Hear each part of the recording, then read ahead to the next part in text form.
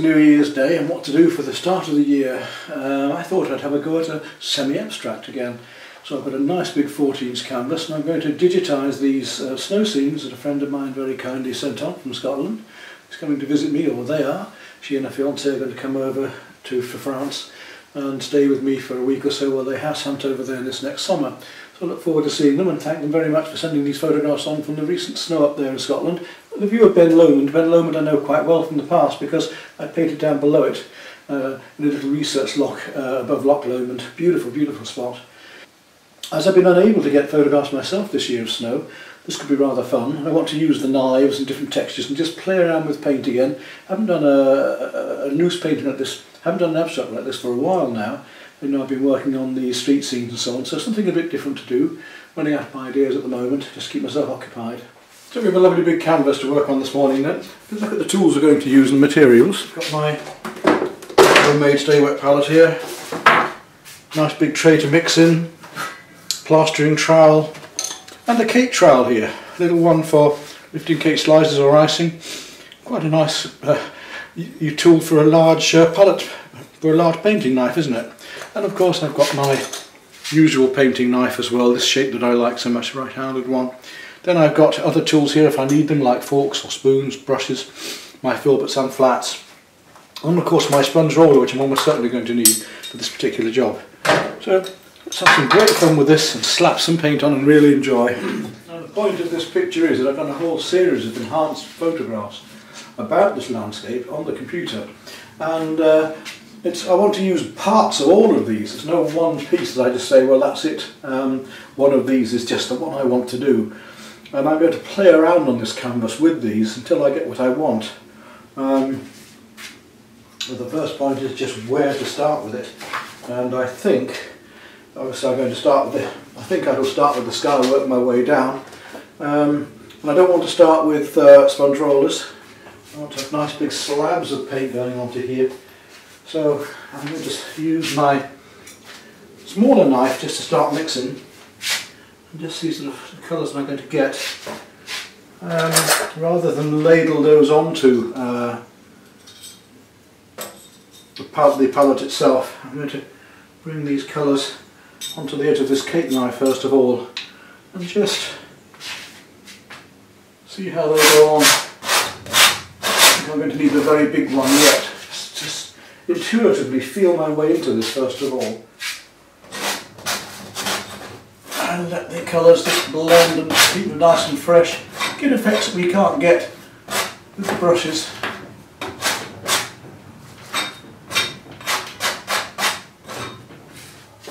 So I don't have to have too much paint out at a time. I can do it this way just control the amount that's going to go onto my knife first of all one colour over another as they dry as well. Really play around. So I don't I don't want to know my directions too much with this painting. I don't want it just to be too preconceived and just a landscape again. I'm going to use what we have here and find what I want. As I say, take the best of all of these these worlds into this. To get rid of this white canvas first of all and uh, obviously wood for trees as usual with, a, with any figurative painting the same, never mind, never mind abstract. This is sort of a crossover between the two of using the, the figurative images with the abstract side of it.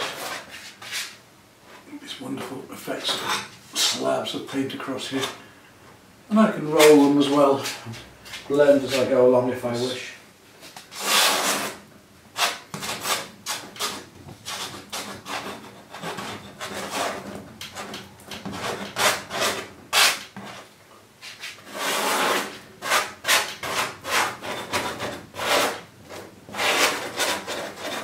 spread the paint loose in it.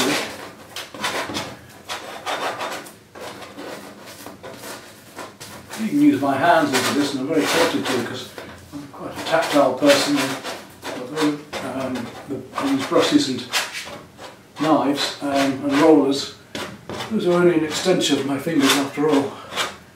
So it's quite nice to get my hands into this. mixing colours actually into the knife as I go along. So this yellow, for instance, I just put into there deliberately to mix into this colour as I, as I place it on. They come up through here. Get colour on here and I can work over it. I really want to get some paint going, why don't I just lather it on straight from the tube.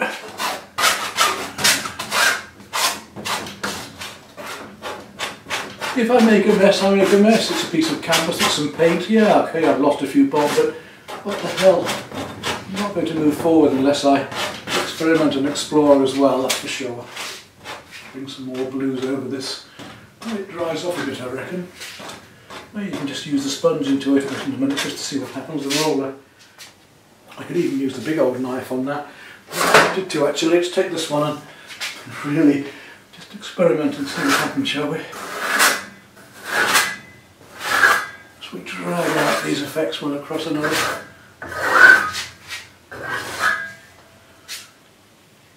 Because we can only get these effects by experimenting and by exploring this, I'm going to be doing a demo for uh, art society Grimsby.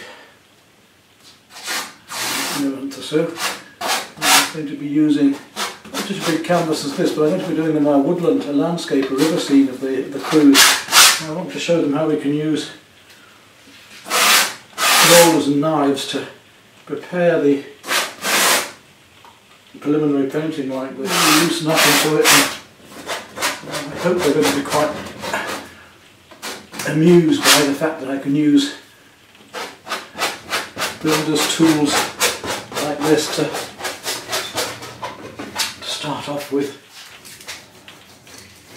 More texture across here, see that roller across there just to lift that paint a bit and get a bit more texture going on. As I can do even with the with the knife because there's nothing to stop me from coming back and dabbling with the knife to get texture.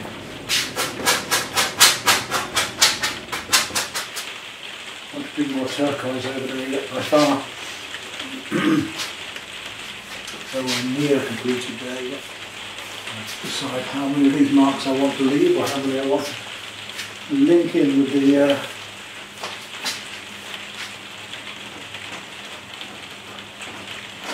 sponge roller.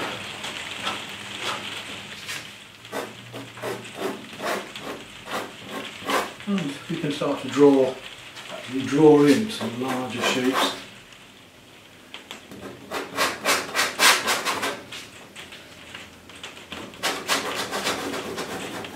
this colour is showing through a lot of the other colours so I can go to a smaller knife.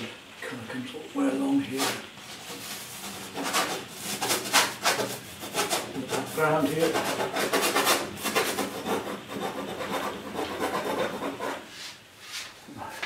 sponge roller and just look at the textures. Some of this where it's maybe a little bit too obvious and we're just a little bit of blending here and there. Mind these aggressive strokes but I don't want to make too much of them. Let's uh, put this lovely dark line of colour behind here. We've got a, a really nice deep blue going on. I'm going to take some Prussian blue and that along my trowel. Lighter blue coming into it.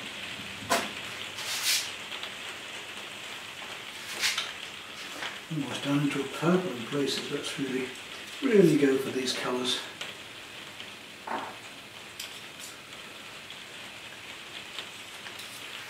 Mix them up on my, my blade as I go along Take the way down into here. Swap some paint around on the plant now. Love it. Look for these colours in a minute. I'm going to put a lot more colour into this. I'll use my sponge roller I think in a minute just to read this in. Plaster on this colour down here. Trees here. Wherever they are again, I've lost them a bit at the minute. No. My sponge and what I said I was going to do, we'll link in these colours here. Use the sponge just to get little bits of white for a minute. Put those back in afterwards. Lose this white. That's it, I bring these mountains across that later. White snow.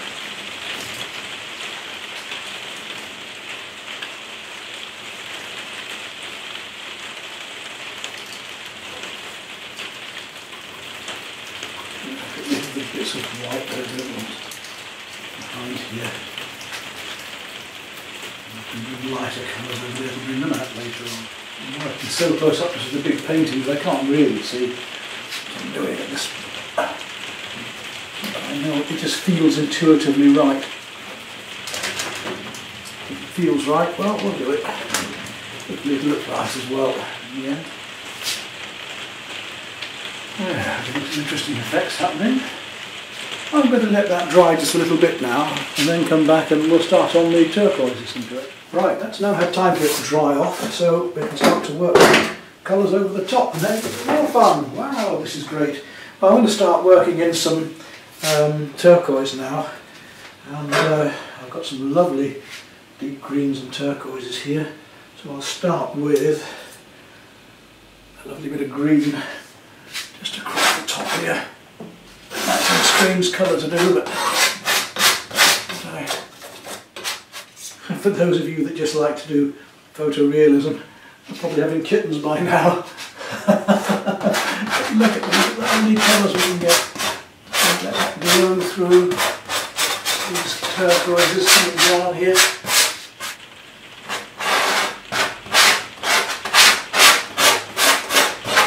So we need to with the existing blue underneath start to use the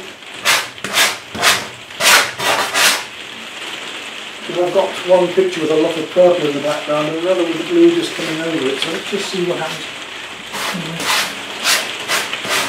A bit of this very light blue here.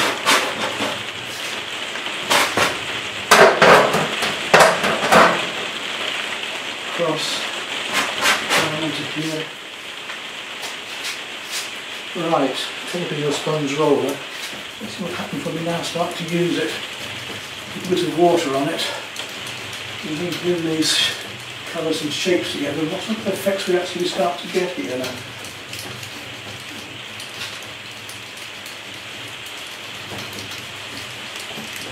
Well, I want to link these a bit more, not looking quite so crude.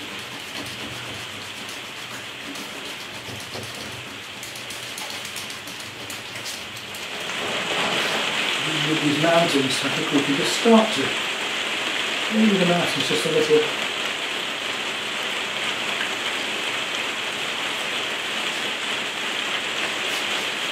Nice to use an actual palette knife on these I think and slab some of these colours on a minute. Just want to find some of the lights and darks there.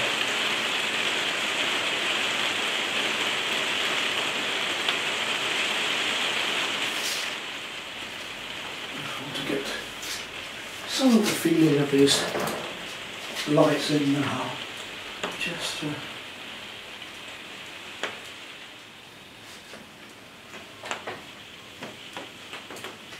I want to feel the, the balance between the abstract and the physical uh, figurative qualities of this. As I said to you, painting isn't going to be fun. Why are we doing it? Let's bring that out there a bit so I can just get of light into here. Paint up these little bits of canvas that are still showing I don't like.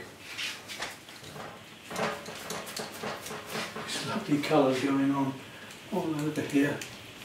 And uh, oh yes, it's just lovely to play around with these colours and, and use this abstractly, very abstractly, use the picture as a basis for a painting, not to be copied. I want to make two obvious marks here and there. Just glazing it over the top of these textures to try and pull it together a bit more. Look at the, um, the blues high up here. I'm not. Uh, that green certainly taking over a bit. It would do, wouldn't it? Um, it's very powerful. We need some greener, warmer colours on the bottom soon. Take back this green a bit with this purple magenta colour.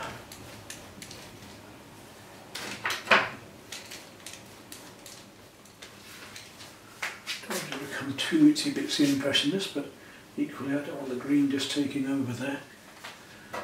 See what's a bit more uh, cobalt blue does up here, it's much warmer blue and it'll just suddenly make this much pinker by adding this blue across it. Bringing in a whole new ball game of warmer blues against these cobalt blue. Then I'm going to take a bit of ultramarine and add that into it.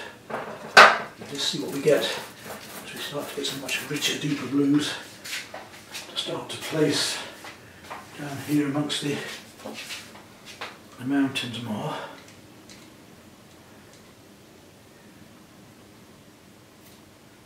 That there comes down through here and then there's a beautiful piece of mountain there coming down round and down into here.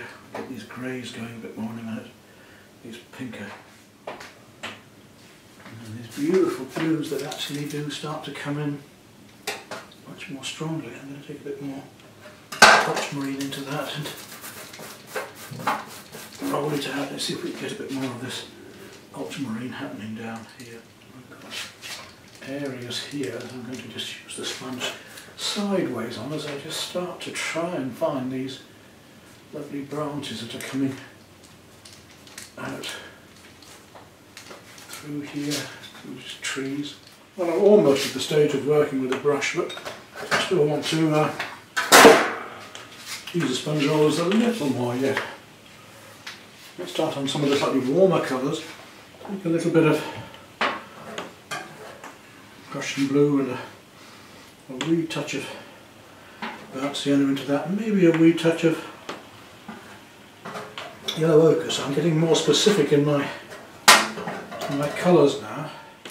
I'm just a few uh, through these later. At the moment I just want to get the feeling of these twigs form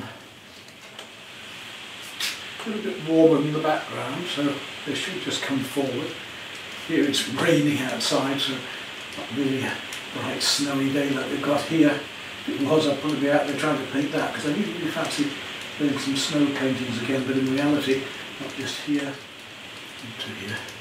It's a slightly green tint by adding the yellow ochre to the brown and to the, the uh, Prussian blue I'm able to give a slight green tint to it.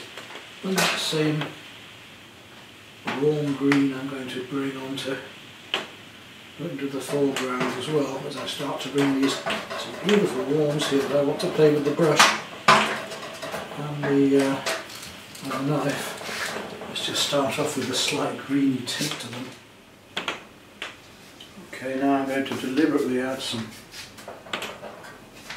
yellow ochre and green to that mix. In fact, I'll take a bit of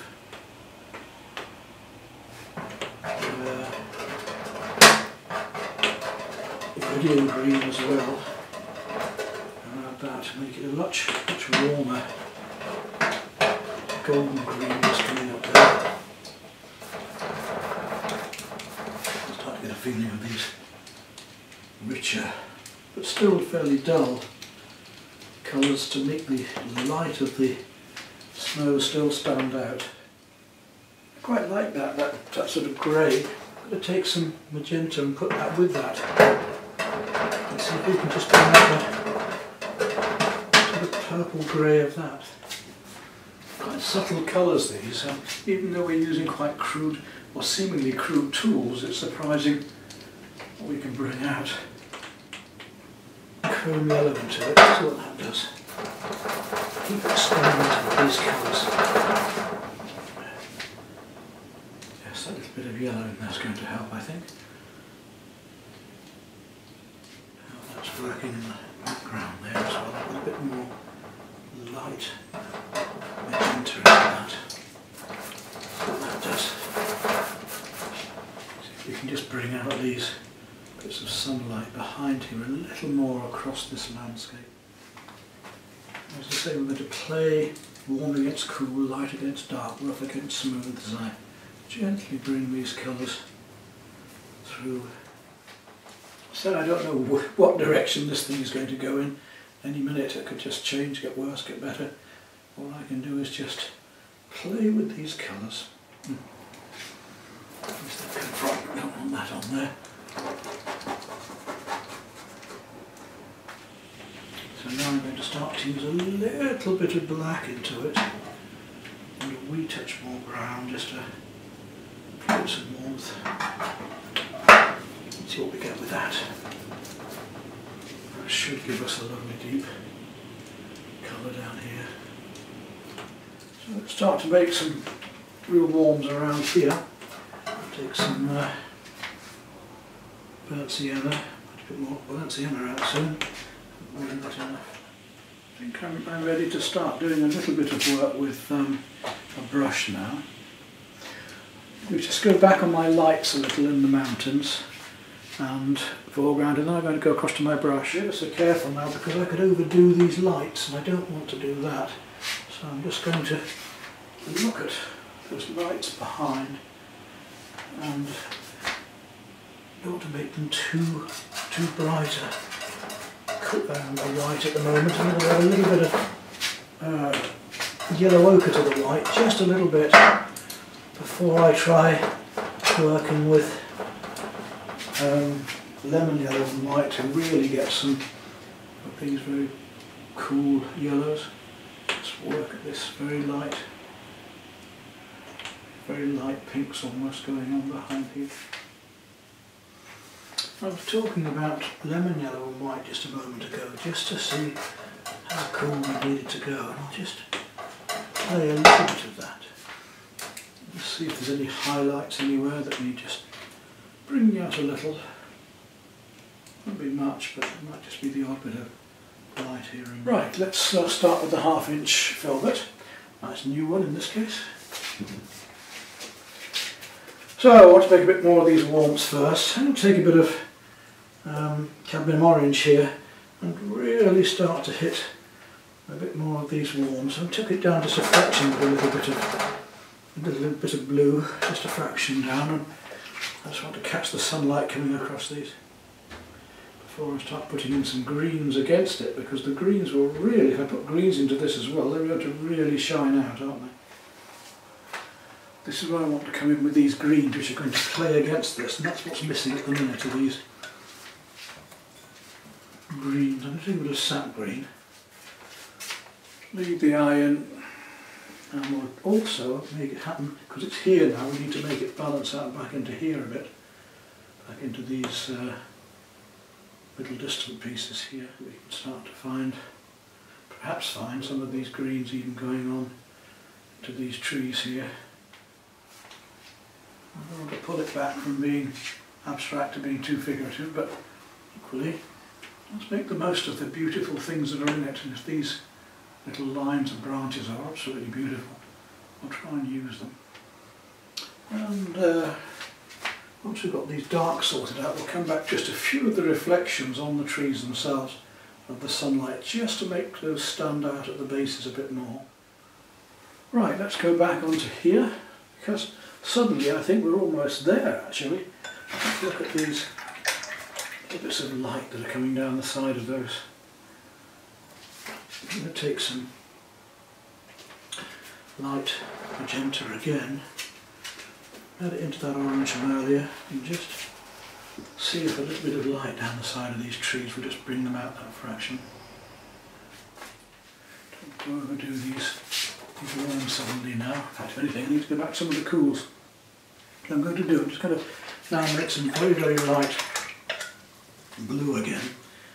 Just come back to my very light, light blues. just pick up on a few of these little bits on the edges of trees and things. And I think, as I'm feeling at the moment, that this painting is about done. I don't think I want to do too much more to it. I may change my mind tomorrow a little bit. We'll see, but at the moment, certainly don't think it's, it's necessary. And we played, as I was trying to do, between the abstract and the figurative with this. Let's see what a signature looks like on it. There we are, that's been fun today.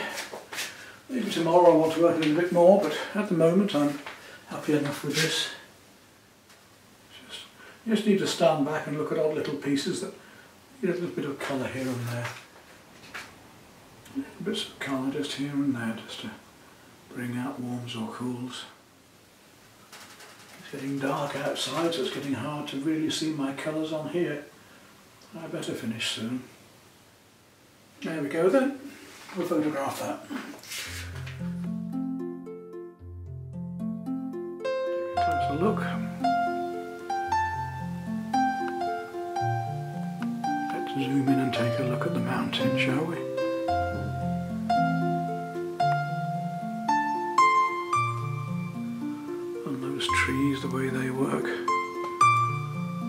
Into the background there and down to these foreground grasses that are a little bit brown on the film here because the light is so dull. Well there we are then, another one done. Large um, Scottish landscape in a semi-abstract fashion and brought back into uh, towards figurative work. Very enjoyable, not sure what I'm doing next, but uh, nice to do another large one like this. Just see what material I can find I guess.